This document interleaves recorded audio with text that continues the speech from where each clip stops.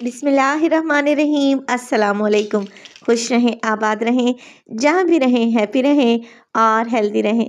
तो मैं हूँ फ़ाइज़ा और वेलकम करती हूँ आपको चटपटे पकवान में।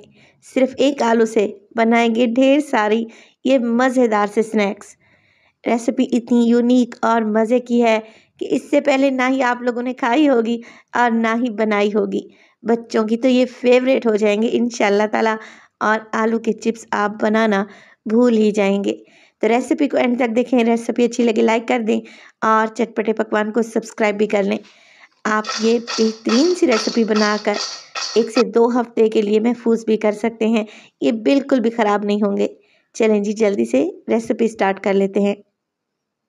यहाँ पर ले लिया है मैंने एक मीडियम साइज़ का कच्चा आलू। आलू को पहले छील लूँगी और फिर इसके छोटे छोटे से टुकड़े कर लेंगे। टुकड़े करने के बाद मैं लूँगी एक मिक्सी जार या फिर जग, और इसमें शामिल कर दूँगी ये छोटे कटे हुए आलू।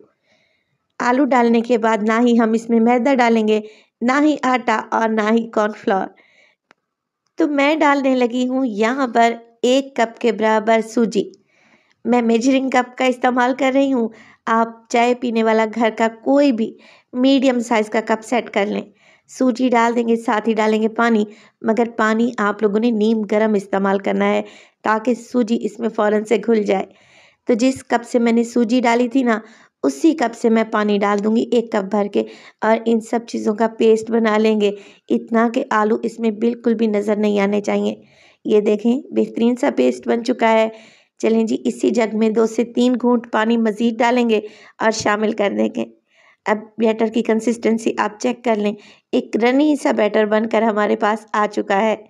अब इसमें डालेंगे कुछ मिर्च मसाले ताकि इसे चटपटा सा बनाया जा सके। नमक डालूँगी हाफ़ टी स्पून इसके अलावा चिली फ्लेक्स यानी कि मोटी कुटी हुई लाल मिर्च डालेंगे हाफ़ टी स्पून ये है मेरे पास साबित सफ़ेद ज़ीरा हाफ़ टी स्पून और इसमें चला जाएगा ये है तिल। सफ़ेद तिल डालेंगे एक टेबल स्पून भर के। धनिया पाउडर डालूँगी एक टीस्पून। इसके अलावा मैं शामिल करूँगी दो से तीन टेबल स्पून फ्रेश हरा धनिया। चाहें तो बारीक बारीक सी आप हरी मिर्च भी काट कर डाल सकते हैं, मगर मैं नहीं डाल रही। मिक्स करेंगे और दो टेबलस्पून इसमें कुकिंग ऑयल भी डालूँगी, जिससे ये स्नैक्स बहुत ही क्रिस्पी बनेंगे। अच्छे तरीके से मिक्स करें, बल्कि फेंट लें। तीन से चार मिनट के लिए अच्छे तरीके से फेंट लें। जितना आप फेंटेंगे ना, ये बैटर उतना ही अच्छा और फ्लफ़ी होता जाएगा। बस जी, मिक्स करने के बाद कवर लगाकर दस मिनट के लिए छोड़ दें, ताकि सूजी को फूलने का टाइम मिले। दस मिनट के बाद अब ये बैटर अच्छे तरीके से सेट हो चुका है। सूजी भी नरम पड़कर फूल चुकी है।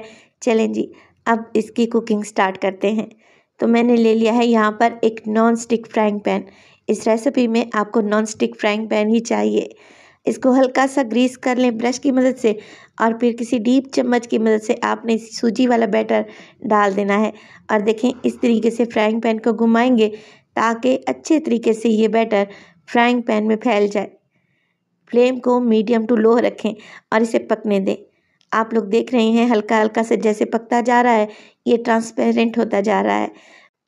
तो एक से दो मिनट लग सकते हैं आपको, आपने इस चीले को एक ही साइड से पकाना है, दो साइडों से नहीं पकाना। जैसे ये चीला फ्राइंग पैन को छोड़ दे और इजीली मूव करने लगे तो फिर आप इसे निकाल लें एक प्लेट में। और सारे चीले आप लोगों ने ऐसे ही तैयार करके रखते जाने हैं।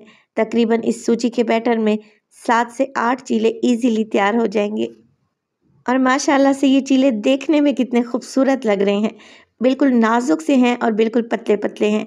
इनको हल्का सा ठंडा होने दें, तब हम इसकी करेंगे कटिंग जब आप ये रेसिपी बनाएँगे ना इन ताला निम को और पापड़, इसके अलावा आलू के चिप्स बनाना भूल ही जाएँगे। ये बहुत टेस्टी बनते हैं और इंतहाई क्रिस्पी होते हैं। इसके अलावा आप इन्हें रख भी सकते हैं किसी एयर टाइट जार में एक से डेढ़ हफ़्ते के लिए, ये बिल्कुल भी ख़राब नहीं होंगे। आप इसकी कटिंग कर लें स्ट्रिप्स में, लंबाई में कर लें या फिर हाफ़ से आप लोग कटिंग कर लें, जैसा आपको इजी लगे। मैं छोटे छोटे से स्ट्रिप्स में काट रही हूँ, ये देखें, कुछ इस तरीके से। इस तरीके से ये जल्दी से फ्राई भी हो जाएँगे और इंतहाई क्रिस्पी बनेंगे। वीडियो स्टेज पर ज़रा सी भी अच्छी लग रही हो, वीडियो को लाइक कर दिया करें और चटपटे पकवान को सब्सक्राइब भी कर लें। ये बेहद यूनिक और मज़े की रेसिपी है। चलें जी, सारे स्ट्रिप्स मैंने इसी तरीके से काट ली हैं, अब इनको फ्राई करते हैं। फ्राई करेंगे मीडियम हॉट ऑयल में। आपने फ्लेम लो टू मीडियम ही रखनी है और ऑयल को अच्छा गर्म होने दें और फिर थोड़े थोड़े करके ये स्ट्रिप्स फ्राई कर लें। ये बिल्कुल भी ऑयल को एब्जॉर्ब नहीं करेंगे और एकदम ज़बरदस्त बनेंगे। तो तकरीबन इन्हें फ्राई करने में आपको चार से पाँच मिनट लग सकते हैं। जितना आप मीडियम टू लो फ्लेम पे इन्हें फ्राई करेंगे, ये उतने क्रिस्पी, शानदार और बेहतरीन सा कलर आएगा इन पर इन तो अगर आपके बच्चे आलू के चिप्स खाकर बोर हो गए हैं तो ये रेसिपी आप लोगों ने ज़रूर ट्राई करनी है। इस पर डालें हल्का सा चाट मसाला या जितना तीखा आप खाना पसंद करते हैं, मिक्स करें और इन्हें सर्व करें। खाने में बेहतरीन लगेंगे इन ताला। तो रेसिपी को आप लोगों ने ज़रूर ट्राई करना है और अपना फीडबैक देना है कि आपको मेरी रेसिपीज़ कैसी लग रही हैं। रेसिपी अच्छी लगे, लाइक कर दें और चटपटे पकवान को सब्सक्राइब कर लें। और अपने फैमिली और फ्रेंड्स में भी शेयर किया करें। अपना बहुत सारा ख्याल रखिएगा।